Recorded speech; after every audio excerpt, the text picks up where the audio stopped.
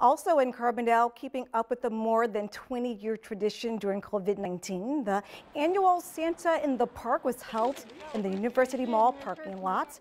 It allows families a way to pick up items for their kids while remaining safely in their cars. The event that helps kids get winter wear is normally held at Evergreen Park.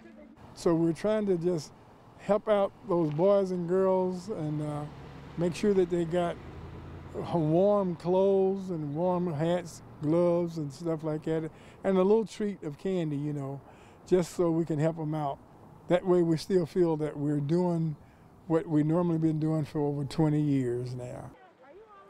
The giveaway is a community effort to bring together organizations from the African American Museum, the City of Carbondale, and the Carbondale Park District.